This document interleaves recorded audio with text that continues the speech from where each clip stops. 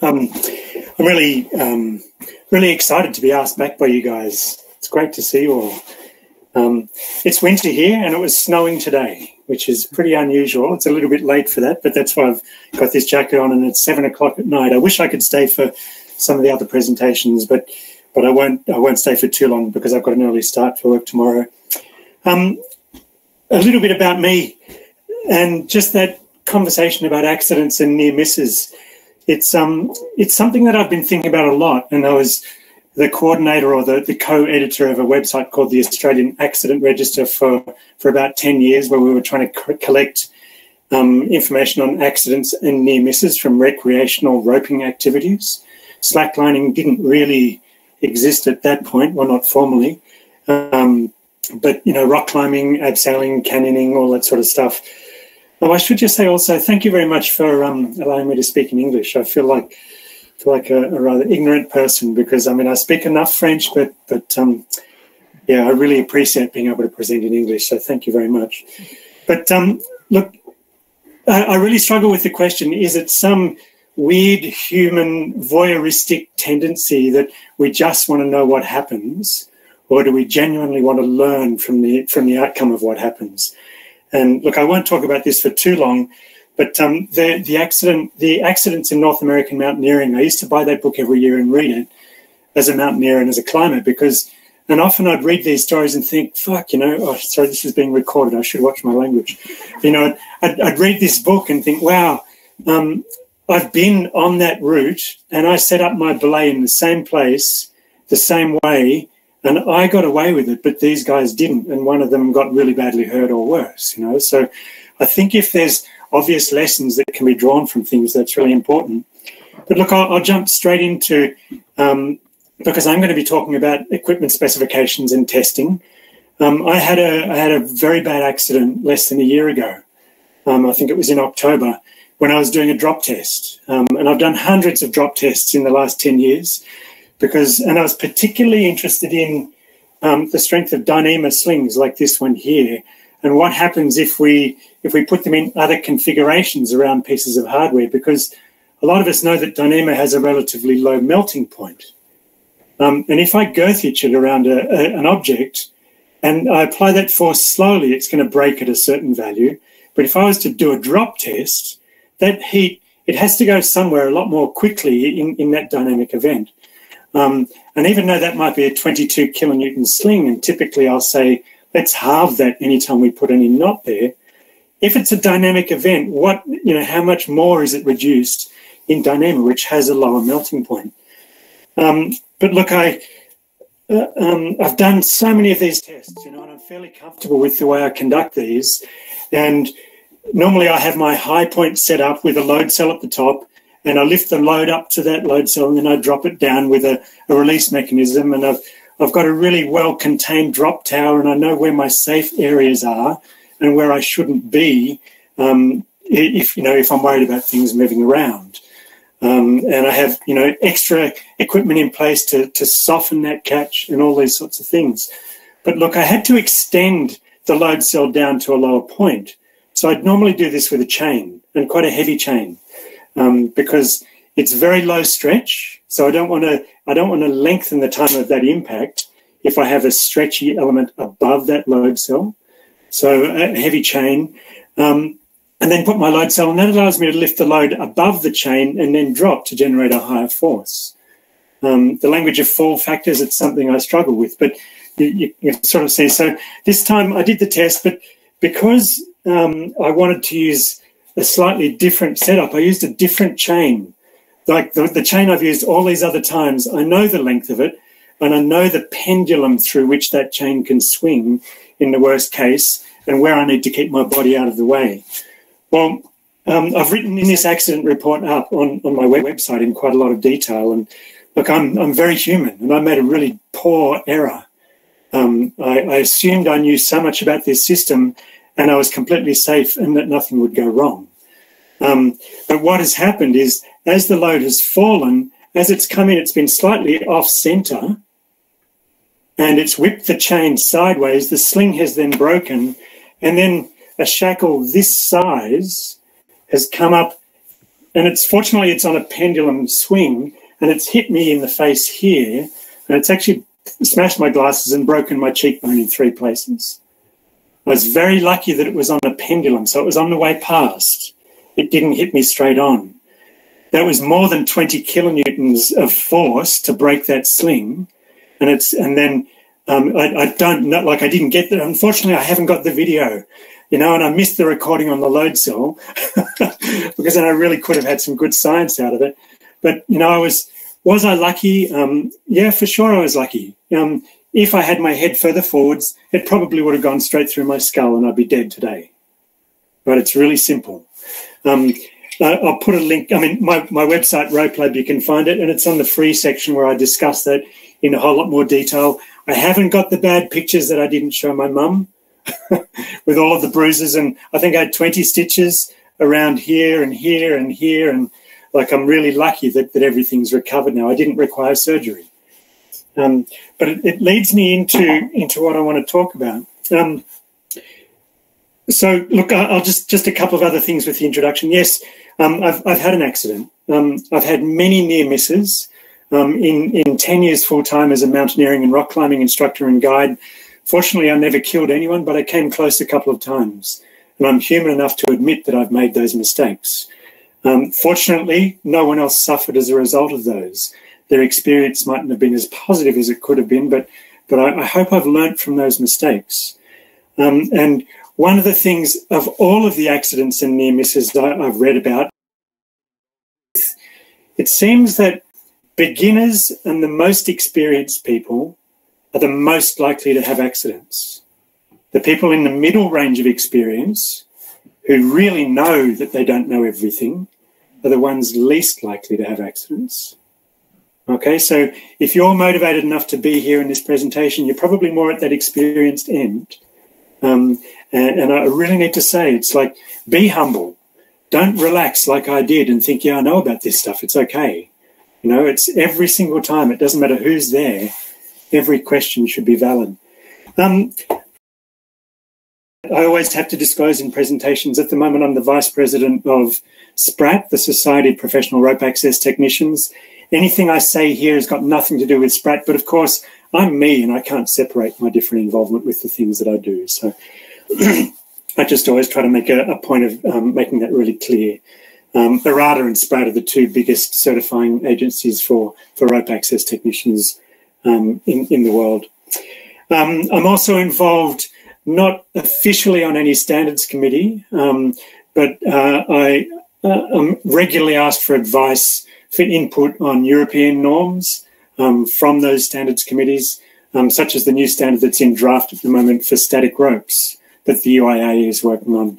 Um, Australia doesn't have a member a member association of the UIAA, so I'm not eligible officially for, for membership anyways, which is fine because theoretically it doesn't snow here and we don't have mountains, I guess. But anyways, um, look, let, us move on to onto the, the topic of what I want to talk about.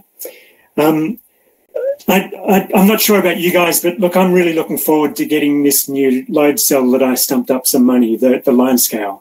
I'm really looking forward to getting hand, my hands on that and being able to use it for some things. Um, and I have to say, and I'm just going to switch over to the other camera that I've got here. When I first started doing tests, this was the load cell that I was using. Right? It's definitely a science experiment. Um, I'm very fortunate that I've got a, an electronic electrical engineering qualification, and I know what to do with this end and what these numbers mean to use this to get information out of it but I have to write software for it and I have to build electronics to, to do that as well. Um, there are many other kinds of load cells out for a long time, but then this one, this one came out from Rock Exotica. Um, and look, I had a little bit to do with that as well. Rock Thompson from Rock Exotica is a genius when it comes to designing the hardware. He's not so good with the electronics. So it's one of the few products at Rock Exotica where they had to give um, that part of the design to someone else to do the work and um, fortunately or unfortunately, that, that person still owns the intellectual property for, for what's inside here. And the disappointing performance of the app and, and the way it works or doesn't work with, with the, you know, the devices that you connect to that. However, this was so exciting when it came out because for the first time, it meant that you could just attach a carabiner to each end of this and use it in our systems and, and, and observe results and, and interpret information from them. Um, I'm reminded of something that, that I try and talk about with my kids often. At this time in, in our existence, we have accessible to us more information than we have ever had before. But for some reason, we seem less capable of making decisions appropriately. Yeah. So as we collect this information, it's really important to one, plan how we collect it, and two, use that information to make appropriate decisions. Um, I would strongly advise that um, you don't launch straight into doing dynamic tests. You don't go straight into doing drop tests where you, you know, producing an unquantifiable amount of force or tension that you're putting on this and of the energy that needs to be disposed of to bring. Um, now, even if they're slow pull tests, um, people who work with with all terrain vehicles and four wheel drives, they know about the hazards of winching to recover vehicles. And if that winch cable snaps, what happens to all of that energy? And do we have anything to dampen or dissipate that energy so that people are not in the line of fire and hopefully don't repeat my accident? Um, it, you know, it's very important to think about that kind of things. Like generally, you're using people to pull on the system, or some winch, or something that, and you, it's hard to avoid being in that line of fire. So do anything you can to avoid that. It's um, you know, I thought I was doing everything I needed to, and I nearly killed myself doing one of these tests.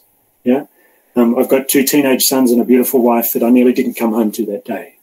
Like it's that serious.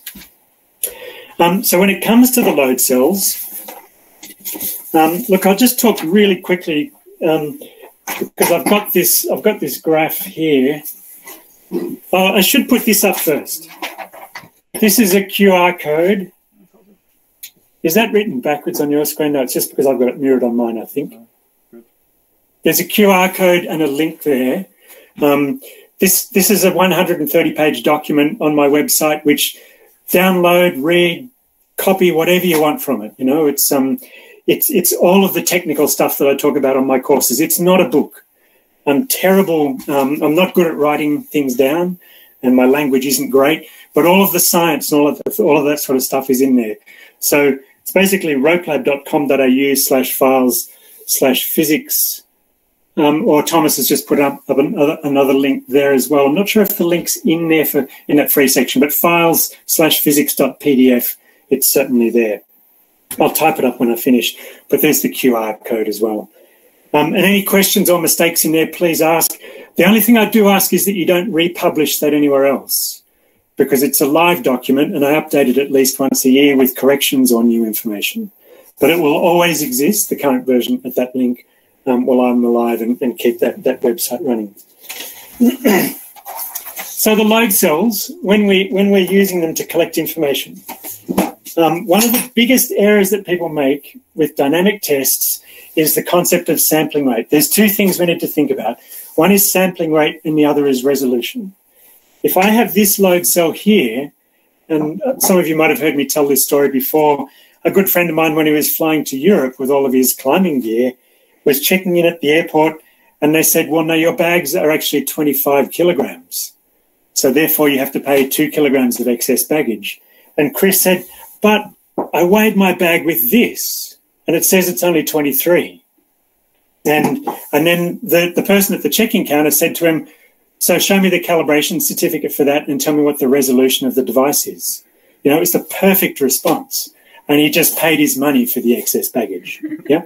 Um, so this it, it, it, it's good for you know to, to measure things um, like up to 20 kilonewtons and to be able to, to measure something that big like you don't use a, a, very small ruler to measure something which is 20 kilometers long you use a rollout tape measure that only has the marks every one centimeter maybe yeah so i don't use this to measure values under 20 kilograms of, of mass I'm just not going to get that accuracy. It might be plus or minus 10 kilograms is the, the results I get from that. Okay. Um, the other thing I won't be able to do that with that is is break that carabiner because that that's 23 kilonewtons to break that carabiner. Um, if I exceed 20 kilonewtons on this device, it will permanently it'll display that it's been overloaded, and I shouldn't really be ever hanging people off that. Sorry, we've just lost focus there, um, or using it for for other other tests. So the resolution and the full scale is important, but the other is the sampling rate. And this is this is a curve from a real test. And stuff out of the way. What I've done is I've got a, a 75 kilogram steel mass on a one meter piece of rope with a figure of eight knot at each end. Um, and then I've dropped that um, one meter, so from next to the load cell to below it. And what you can see here is predictably from zero load during free fall, it then comes on. We get this peak and then it comes down in a trough. So it, it's hit hard and then it bounces back up in the air, completely in the air and unweights the system. It unweights the system here. Sorry, I was just off the page. Um, I'll just zoom out a little bit. Um, and then as it's falling back down again, it puts weight on the system again. And then eventually we're left with the mass suspended on the system. Now, what I've got, and it's a little bit hard to see, but if I sample this event at five samples per second at five hertz, then I actually get one sample here, one sample here. So I actually miss the first impact altogether. Another sample here, another sample here, another sample here, here, and here. And then when I look at my load cell afterwards, it's only sampling at five hertz, five samples per second it would tell me that the peak force during that drop was 1.66 kilonewtons. Sample at 20 hertz, at least I would have got this peak at 6.15 kilonewtons. That's, and then if I take this section of the curve and I zoom in to, to here, and this this this graph is in the notes uh, in the in that that book that I just gave you the link for. Um, now, if I zoom in more, here's my 6.15 kilonewtons.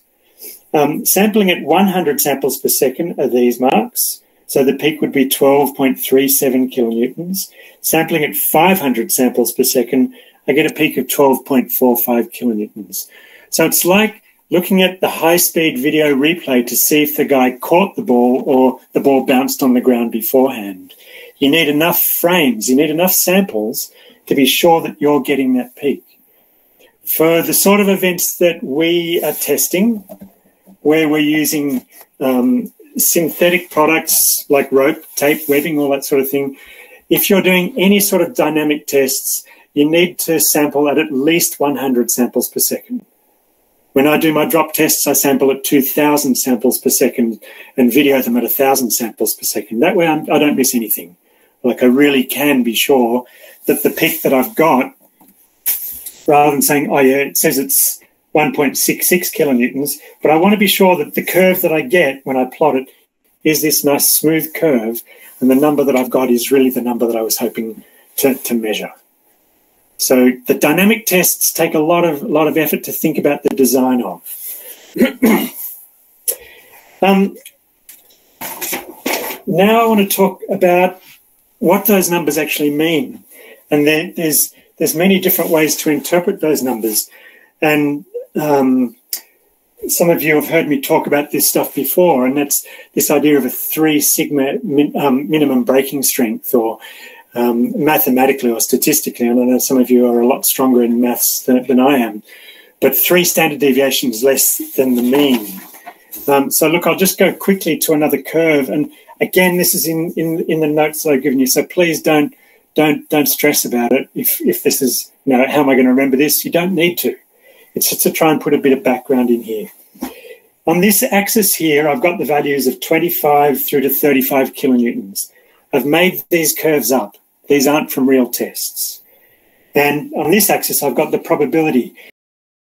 Particular carabiner, and I'm not saying that black diamond one would have that curve, and I break enough of those carabiners to get a nice smooth curve. So I might break 100 carabiners um, I should get a curve like this, where there will be an average value, and in this on this curve here, the average is 30 kilonewtons, And by the time I get to 32 kilonewtons, there's no more. I mean, there might be one in a million. And less than 28 kilonewtons, there's, there's you know, I, am not having any that are breaking that week either. Whereas I might go to a different carabiner manufacturer, and maybe their average is still 30, but some of them are breaking at 33 and some are breaking at 27. What's the difference there? And again, this is a trap that you might fall into because if you get a carabiner that says 30 kilonewtons on the spine, you get your load cell, not this one, and you break it and it says 33, their temptation might be to think it said 30, but it broke at 33, so this is a really good carabiner. All right. But in fact, to have this spread in the curve tells me that maybe their materials weren't as good and their production process wasn't so controlled because they've got such a big spread in where they all broke rather than all having one focused curve and breaking into one place. Um, I think it was DMM that was the first manufacturer that said, well, we need to be a little bit more scientific about this because the average breaking strength means nothing to us. Average, I mean, I, I could say, I mean, I think there's a lot of people in Switzerland here. I could say, you know, the Swiss education system, like I've, I've, I've heard that um, half the children in Switzerland are below average intelligence. You know, and in fact, that's exactly right because the average, the average should be this value here. So half should be below and half should be above. Americans get really upset when I say that in presentations. You know, hey, what are you talking about? But um, yeah, it, it's. I mean, you can prove or disprove anything you like with statistics, and statistics is far from my strong point. Um, but so what DMM and Fred Hall at DMM, they came up with this idea. We need to have some indication of the width of this curve. Is it a nice narrow curve with a high peak, or is it a flat one like this? And it's a fairly, fairly standard statistical treatment this three sigma treatment. And what it's saying is basically, if I, you can you can get this value just by putting all of the numbers into a statistical analysis program, and it'll tell you what the standard deviation is. The standard deviation is indicative of how far the numbers that you measure are plus or minus of the average value on the curve. Um, sorry, we're struggling with focus a bit there again, aren't we? There we go. Um, so what the what the three sigma MBS is means we, we get the, the, the median sorry the, the, the mean value, then we take off one, two, three standard deviations, and between plus and minus three standard deviations of the mean, 99.7% of the population should be somewhere in that band. And if we say that this number here, the mean minus three standard deviations, this is the crux of it. That's the number that we're going to write on the spine of the carabiner on the side of it. So it still doesn't guarantee that we might get one and a half in a thousand carabiners breaking below that MBS that's marked on it, because statistically we can never define what is that guaranteed minimum breaking strain. I'm always really nervous when I see manufacturers say the guaranteed minimum breaking strain is this number. They can't guarantee that. Statistically, there can still be like a few outliers that might break lower than that. Okay. Um, so that's what that number means for carabiners, right? Um, now, I've broken a lot of carabiners on, on my test bed, um, and look, I'm just going to put I'm just going to put one up here, which is not broken. It's just stretched. It's just stretched enough. I like I like stretching them as well. I actually find I learn more from pulling things to the point just before they break than trying to put the pieces back together afterwards and work out what happened. Right? A lot of it frustrates a lot of people in my tests and videos that I put up. They say, "Man, why didn't you break it? We wanted to see it break," you know. But it's just I learn more about that, like what has happened in the nose here is that's opened up and let the nose come out of that section of the gate. Um, and in fact, it also explains why, for some manufacturers, you'll have a different strength rating for the screw gate version of exactly the same carabiner frame as an auto locking version, for example, because this will constrain the spread of that section of the gate. So even though the frame is the same, those ones are different but you will get a different strength result depending on the gate mechanism there sometimes. Yeah. But aluminium 7075 T6 aluminium certainly does stretch. It doesn't snap without warning, which is what I hear a lot of people say about alloy, that general term, which really, I mean, most steels are alloys as well. Um, it's a very poor English English term. But look, if I'm going to do any tests and interpret anything from the data, it's really useful to look at that before I do the test and go, if I'm going to do a, a UIAA test on this between two 10 millimeter pins and pull them apart at a controlled test rate, what's my prediction? How do I think? What is the mechanism that that's going to fail? And it, it sort of makes sense because, like this pencil here, if I can pull this perfectly in tension, it's going to fail directly along that axis, like it is a simple structure. With the carabiner here, it's it's one step off being simple because we're not loading it directly along the spine. We're pulling it in the in the, the crotch and the, the basket there, and it's slightly off axis of the strongest part of that structure. So what is probably going to happen is either the nose is going to fail or the nose pin or the gate or the gate pin. And once that happens, it's going to allow that carabiner to open out and then it should fail either here or here. And because it's so symmetric along, along there, it's depending on which pin is further out here as to which one's probably going to break first.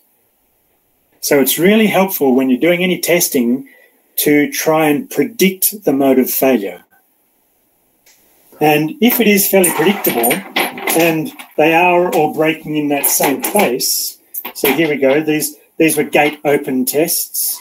So I've confirmed that, you know, if, if I do a, a gate open pull, that um, this pin can travel further towards the nose. So it's going to try and open that out. So it will probably fail here first. And that's what's happened with, with these samples. It's failed there.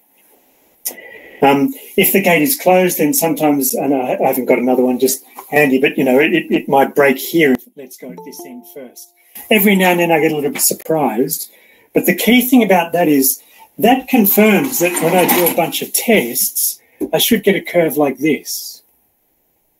So um, the the standards and the way they're written there's a, quite a bit of variation, and uh, it's great that you guys are involved in standards as well. But the language that we use to put numbers on on our expectations for these things, our minimum breaking strength, it's quite important.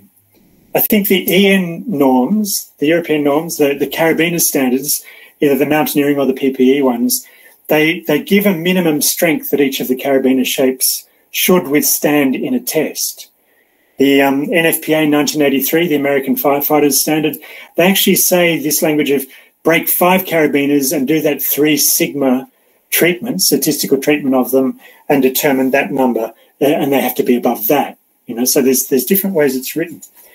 My problem, however, is what happens when I go to something which is a more complex structure, something like a sewn sling, like this sling here. And this one must be 30 years old now. I've had that one since new. But if I was to, and I might just zoom out a little bit, but if I was to put that on the test bed, I'll go to that short Dyneema one because it'll all fit in frame easily, more easily. And I put that on the test bed and I start to pull. What is my prediction on the mode of failure? Well, it might be around one of the pins or it might be at the stitching. I'm not sure. And I can't, with confidence, predict that it's going to be one or other, right? So, in, and in fact, um, what I might get is a bimodal distribution of the results rather than a normal or Gaussian distribution, you know, the standard normal curve that we see like this. So if I struggle to predict the failure point, and maybe the stitching on this one is better, so it goes stronger and breaks at one of the endpoints, or maybe it's one of the ones where the stitching maybe it wasn't quite right and I get that variation. If I have a bimodal or multimodal distribution in the results, then I can't apply a three sigma treatment to, to the to the results. Because if I did that, the standard deviation, the mean is going to be here. The standard deviation is going to be huge for these. So that mean value there, that might be 30 kilonewtons, but by the time I apply that statistical, like that statistical treatment, three sigma might take that down to 10 kilonewtons. And that's why with the standards for slings and harnesses, they don't say to apply this statistical treatment. they actually say in um, uh, in EN three sixty six and three seven five. Um, I think it's slightly different for the two, um, depending on whether it's an anchor device or, or, or a sling. You have to perform one test, and the value must be at least twenty two kilonewtons. And that's why it's no it's no coincidence that if I look at this sling here and flip the label over, it says 22 kilonewtons on the label there. I know, sorry, you can't read that. You're going to have to take my word for it. But it says 22 kilonewtons on that sling. It also says 22 kilonewtons on this sling, on this sling, and pretty much every other sling that I can get from my set. It, they all say 22 kilonewtons on them. Now, if I put this one on my test bench, I bet it's going to be much stronger than 22 kilonewtons. Maybe it's 40 or 50 kilonewtons. I haven't broken one of these. Same with this. Same with this. I don't know what the strength was when they were new and, and what the manufacturer determined when they did that test. They might not have even broken it because all they have to demonstrate is that it is greater than 22 kilonewtons. All right. Um, this one, this is one of the few that, that has a higher number on it. I, I sort of showed some of you that one, this one last year. Um, this is 100 kilonewtons that they've got on this sling here. It's way stronger than the 22 kilonewtons, and they do say minimum break load on that of 100 kilonewtons. But, you know, it's no coincidence. Like carabiners, they'll all have different numbers on because they do the tests and they give you that. Most manufacturers apply a 3 sigma MBS treatment to their carabiner ratings. But the slings, it's absolutely no coincidence that they write 22 kilonewtons on them all because that's the minimum that they need to adhere to to um, to meet the standard. They maybe didn't even break them. Um, look, I'm conscious that um, we're, that that's my half hour, and I started a little bit early, and I've gone a few minutes over as well. Um, as as I'll say with any presentation, like send me questions anytime. Like I, I'm, I'm passionate about about the safety of anyone that uses the products that we use, um, whether it's rock climbing, slack climbing. I'm not a slack climber. I've never been. Um, I've done some dumb things. That's way smarter than some of the dumb, dumb things I've done. That's for sure. um, but look, if you if you've got any questions at any time about any of this stuff, I'm like I. I pride myself in taking the time to get back to people. And if, if you take the trouble, if you go to the trouble of sending me an email to ask a question, then um, I'll, I'll go to the trouble of answering it as well. It's it's um, it's really important. I'm not employed by any manufacturer. I'm not sponsored by any manufacturer. Um, I'm just a a, um, a, a, sole trading hourly rate rope access technician, um, and, and, my family is, is my only boss. But um, anytime, and thanks again for having me, guys. I, I, I, I, love presenting with you guys and spending time with you, and I, I can't wait to get back to Europe and, and other places where you might be. Thank you. Look, for slow pull tests, um, sometimes I even sample at two samples per second. It depends. It depends how slowly I'm pulling. Um, I think I can't remember. I think the, the slow sample rate on this is five samples per second. That's normally. And if I was doing if I was doing a whole lot of slow pull tests like cyclic loading, there's no way I'm going to sample at 2,000 samples per second because I mean the first time using my load cell solid samples at, at 2000 samples per second, I was using an earlier version of Microsoft Office and Microsoft Excel. I think there was a limit of 32,000 rows that you could import. 32,000 rows, if I'm sampling at 2,000 samples per second, gives me only 16 seconds of data. Right? If I'm doing cyclic loading of carabiners and looking at what happens with the stresses of loading and unloading maybe it's a 24 hour test that I've got to run. I don't want to have gigabytes or terabytes of data that I'm having to post process. So two samples per second is definitely appropriate for slow pull tests, five to be safe. Yep. Um, just reading the questions here. So maybe I'll ask the question. Yep. Uh, uh, do you do you have for different products, do you have enough sample size to really determine how the curve looks? Like even for a carabiner, I would imagine that it's not exactly a symmetrical bell curve. It might be like sloped to one side or the other. Uh, you have enough sample size for like specific type of carabiner to determine? I, I, I don't. I, I, don't. And um, because everything I, again, it's part of my defense of being independent. Everything I break, generally, I prefer to walk into a retail store where they don't know who, know who I am and purchase the products new um, and then do the tests. I don't want someone to say, "Hey, you only got you only did those because they gave them to you and they wanted them to show you how good the results were." Yeah. So, um, look, I, I know um, I know many manufacturers, and I've visited the factories of Rock Exotica, of Petzl, um, of um, uh, of DMM um, in Wales, uh, and many manufacturers, and they're amazing. The the all of the reputable brands, the ones that we know about, the effort that they put into this stuff, like uh, they know more about it than me, and, and I've, I do trust the, their approach to the science of that. Um, I've asked them questions um, like Rock Exotica, for example. They choose just because of that potential unknown. One in one in um, you know one and a half in a thousand carabiners might break below that. Rock Exotica proof load 100% of their carabiners to half of their MBS before they go out of the factory. And that's why with a, with a brand new Rock Exotica carabiner, if it's one of the, the coloured anodized ones, if you look inside the basket and the crotch, you'll see that the anodizing, you might look at it and go, hey man, someone's already used that carabiner. It's because they put it on the test machine and loaded it to half the MBS, right? Um, and then there's other manufacturers like SMC in, in Washington State, um, and Garen Wallace, who's a genius who doesn't work there anymore, unfortunately. Um, he said, Yeah, I don't get why they do that because all they've done is that they've shown it will hold that once. Maybe they've unnecessarily fatigued that component, and it means that, you know, like we shouldn't be loading those components that much. So, look, there's a whole lot I would like to know, but at, the same time, um, given the constraints of, of, what I what I can do with my time and money, um, I, I, I haven't looked uh, at a large population like that to determine the, how accurate that curve is. But I, I believe it's something like that. Oh, sorry, that was, and I said, have you ever had one fail below that, below that half proof load? And they said, never.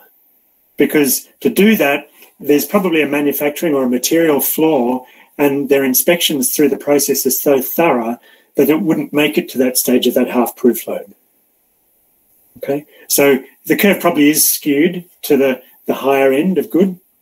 Um, but that was, you know, they, have never written that down, um, but they, you know, they're happy to happy to to say that one.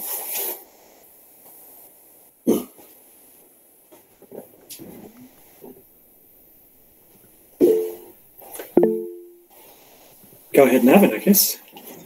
Hi, Richard. Uh, first of all, thank you, ISA, and thank you, Richard, for, for this. I mean, I look forward to this every year to meet so many uh, people who are so enthusiastic about breaking stuff and talking about sports and gear science. So, first of all, thank you.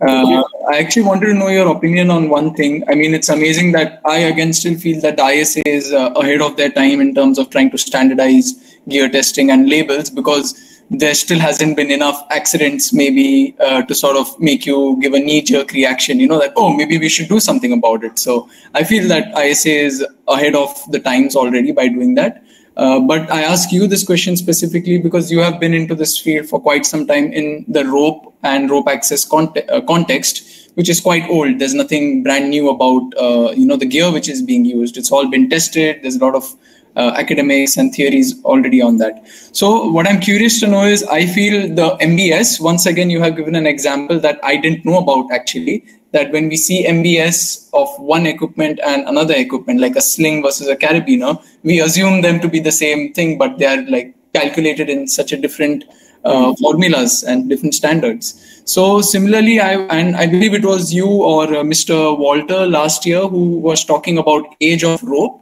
that is extremely arbitrary and there's no such thing as rope losing its strength over years. It's more about uv exposure or abrasion or friction right? So i'm curious to know now isa is uh, sort of setting new standards whereas the in the world of rope already standards have been set. In the context of webbing already we are studying i mean the isa is studying expo- uv exposure. Uh, I see balance community even gives a rating for abrasion resistance. I don't know much about that, but it's we are acknowledging that there's so much more than mbs mbs is a very limiting thing and it's not even communicated well to a consumer. So i'm curious to know that is there something changing in the rope world too? Because sport climbing now sport climbing is in the olympics slacklining every consumer the technical understanding of gear is getting lower and lower but the enthusiasm is getting higher and higher. Sure. so there's kind of at least in india that's what i would like to say that we have a lot of people are very enthusiastic with less understanding of uh, what mbs means what kind of gear should be used etc so i'm curious to know if that conversation has happened in climbing it's, it's a really good question and it, it happens it happens all the time and look when i um I had a bad skiing accident and, and had a complete re- reconstruction on my knee, and I had to work in a retail shop. This was when I was guiding. I worked retail for six months, and um, like I'll never forget this conversation. This guy comes into the shop, this new young climber, and says, "What's the strongest carabiner you've got?" And I said, "Wow, what are you going to use it for?" And he goes, "Well." It's going to be the one that I'm belaying with off my harness, you know. So that's the most important carabiner in the system, and it, was that's when I first started thinking about that it's so not about strength.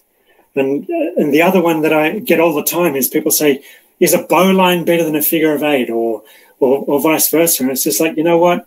What do you want to use it for is the most important question because it's all strong enough. And uh, unfortunately, I'm involved in many accident investigations. Um, it's not something I choose to do, but people ask my opinion on these things often. Um, and most of them, because it's it's in a work context, most of them never get reported publicly because there's it's always because someone has made a mistake. It's never because something is not strong enough. Yeah. Um, and if someone's made a mistake, it doesn't make sense that it goes to a legal finding. It's much better if there's a settlement before it gets to that. And often, as part of that financial settlement, everyone has to sign a statement of confidentiality. But I, I can say it's never about strength. It's always about you know people having made a mistake. Um, the, the, the aging of slings and ropes. Look, Walter has done some some really really good work there. You know, far far more than me, and I don't know the answer to that question. I, I really don't. Um, I do know in, in rope access with the work that I do, um, I do so much of that work and my colleagues that I don't have any soft products apart from ones that I keep for sentimental value. I don't have anything older than 10 years. It doesn't last that long because I use it all that much. I've, I had a kilometre of 1,000 metres of rope in my car the other day for a job, you know, and it's like all of that rope is, is less than less than five years old. Um, and, and some of it is near the end of its usable life just because I use all of that equipment so much. Um, but the, the, I, I, prefer not to touch on the lifespan stuff, um, but probably one thing I would say is I don't know that anything that's broken simply because it's old and resulted in someone dying. Yeah. Um, I, I, I have, here you go, I'll admit this, it's even being recorded, isn't it? I have um, some Edelrid static rope that's more than 10 years old that I use to set up top rope anchors for climbs that my children climb on.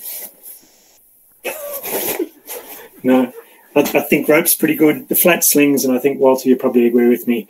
Flat slings are, are probably inappropriate for most things, but unfortunately, you guys are sort of stuck with that technology. So you need to be pretty careful with the UV and other exposures of, of that sort of product. uh, yeah, if, no, if nobody else has, I have one. Um, so I've been thinking about this a long time, um, and it has related. It's also related to like the the MBS actually in a lot of products doesn't say much for me. It's like you said, you, Richard, you like to pull things until they start to fail. And actually, that's the most important part. Actually, when like that's why I like the products that mention the working load. For me, that's the most important thing. Actually, the working load, because I have the idea that if you put a working load, it probably means that if you yeah, that's that's rule. If you use it above the working load, something will start to fail. It will not break like suddenly because you have the MBS, which is five or 10 or whatever is the standards higher, but you don't want it to break. So you want it to use your product afterwards still normally. So, yeah. I mean, that's why I'm always going like, like the, the, uh, I'm actually like, why don't they put a working load on a carabiner and stop using the MBS? Because actually the working load might tell you when the gate will start to fail and you have the time to get off your rope or to stop using your product before it fails? And Johan, it's one of my favorite questions. I'll, I'll send the money to you for asking that. It's it's, it's perfect. Um, look, there's only one manufacturer that I know of that, that comes close to specifying that for recreational rock climbing and, and industrial um, products, and that's Kong. And Kong, in their manual for all of their hardware, they say never exceed 25% of the MBS that's marked on that piece of equipment. Mm-hmm. I've spoken to my friends at Kong about that, and like I, love meeting up with those guys every time I see them. Ettore is is a, is a very intelligent man, and I said, Ettore, why why do you say that in the instructions? And and he said, I think you know. And I said, it's fatigue, yeah. and and what they're saying basically is, with this device here, if that was a Kong carabiner, Kong says in your if that's a 30 kilonewton carabiner, and this isn't, this is a 25 kilonewton black diamond carabiner, you should never exceed seven and a half kilonewtons on that on the loading of that carabiner. If you stay below seven and a half kilonewtons, then you won't impact the fatigue life of that of that device. And particularly because it's aluminium and fatigue influences aluminium components, it's cumulative, much worse than, than with steel products. Um, so look, it's getting towards that. I, I'm with you, Johan. I would much rather we're told what the working load limit on these devices is, because I don't think we're smart enough to use the MBS correctly. Like it, we should never. Most people, like if if I say that carabiner says 30 kilonewtons on it, what does that mean? They say that they can put 30 kilonewtons on it. It doesn't mean that at all. It means you should be able to do that once, but maybe on the second time with 30 kilonewtons it will fail. I know on the first time, and this is one of my favorite sets of carabiners that I have. Um, this is, and I'll put it on the other camera. Um, this is what this carabiner looks like when it's new. This is what it looks like when it's been loaded to 18 kilonewtons. The rating on this is 22 kilonewtons. This is what it looks like when I pulled it to 22 and a half kilonewtons. So you, I, I'm not sure, but I hope you can see that. And there's pictures of this in the notes in the reference that I gave you. The shape of this carabiner is already different to that one. It's longer and it's compressed. So it has undergone plastic, sorry, it's a little bit out of frame. It's undergone plastic deformation. Elastic deformation means I stretch it and I let go and it goes back to the original shape. Plastic means it's undergone irreversible change. As soon as I've done that, I've significantly reduced the number of cycles that that carabiner can withstand in its life. I've done a couple of um, fatigue testing on, on carabiners, and I, oh man, I, have got a good friend, Hannes Seibert from Rock Exotica Europe in, in Berlin. And he hosted a, a, a testing workshop that I ran there five years ago now. And Fred Hall from DMM came with a bag full of DMM carabiners, you know. And look, we set up we set, we set up the cyclic loading machine, the, the pull test machine that he's got, which is all computer controlled, to to get a DMM carabiner and load it and relax and load it and relax. Take two seconds to load it up, a second to let it relax, two seconds to load it up. And we went to 80% of the MBS, right? So if it was a 22, 24 kilonewton carabiner, we went to about 18. And it broke on the 400th cycle. So by loading it repetitively to 80% of its MBS, it failed on the 400th, about 400th cycle. If we took it to 10% of its MBS, I wouldn't have been able to pay the rent on that machine in that building, waiting the years for it to break. Right? Fatigue testing takes a lot of time and it's very expensive with the equipment that it ties up. But I'd love to know more about the fatigue testing of of hardware. Software, look, I don't want to steal the thunder of um, stretch and measuring stretch and all that sort of stuff. I wish I could be here to there to hear some of that because it, it, it's something that not enough people. This term viscoelasticity, I think you might come up with that um, in the presentation a little bit later. It's a really important thing when we're looking at stretch and how long it takes materials to recover. Um, I'll certainly be looking at the at the recording of that one later. I hope that goes somewhat towards answering the question you had, but I absolutely agree. Working load limit for me is much better. In Europe, I think you've got this problem with the PPE directive as opposed to the machinery directive, and they've got quite different requirements for the specifications between working load limit and MBS. Thanks a lot, Richard. All right. Yeah, thanks, Richard. It's a. Yeah, thank you. My two cents on the working load limit is that I like, especially in slacklining, but I'm also pretty sure in the whole rope access and climbing um, world, we have the problem that most people, more than 95% of the people using the gear, have no idea of the forces. So they cannot relate it to any uh, working load limit. Like it's easy with a lifting sling where it says like one ton working load limit and you know how heavy something is and you can just yeah. lift it with that. But in our context with dynamic forces, that's super difficult. And that's actually also why we decided not to put working load limits in our standards anymore. Uh, we just use the MBS. We don't specify that the manufacturer has to give a working load limit. They can if they want, but at the end of the day, like who knows the forces, you know, in our systems? You have to be experienced. You need to own a, a load cell. You need to know lots of background stuff to yeah. a proper load cell. Yeah, to, to really complicated. Things. Yeah, so it's, it's complicated yeah. and and actually what yeah. Kong does with the carabiners, in my opinion, is very critical for slacklining when they say like seven kilonewton is okay, but if you have two to seven kilonewton cyclic loads on this 30 kilonewton aluminum carabiner, you're going to break it quickly. Yeah. So uh, and you guys are doing that more than anyone else. Yeah. For sure. So yeah. also with those this 25%, and I was also talking to the, the Mr. from Kong about this. It's not gonna be good enough for us.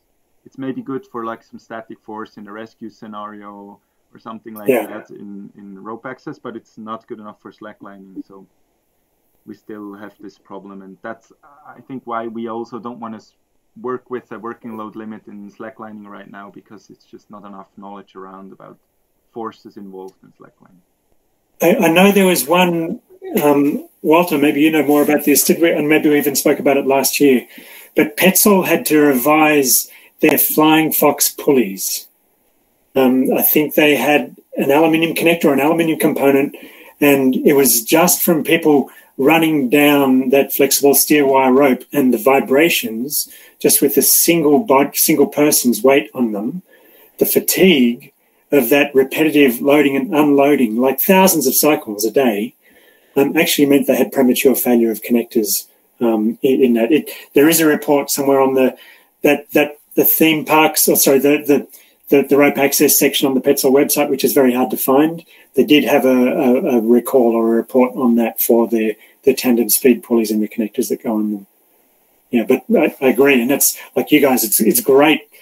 Um, you know, I stick up for slackliners all the time because people think, oh, what are those guys doing? You know, loading these things up, and I go, man, speak to some of the guys that I spend some time with and they're smarter than than any of the people that are, generally. I mean, I've got a couple of geniuses that I bounce ideas off in the rock climbing community as well. But you guys have so got your shit together and so ahead of the curve with the standards. It's such a good thing, you know. If you can stay ahead of that and like every question that someone asks, you've, you've probably already thought of that question and come up with a bunch of answers, which is which is awesome. Thanks a lot, Richard, for all these nice words. Um,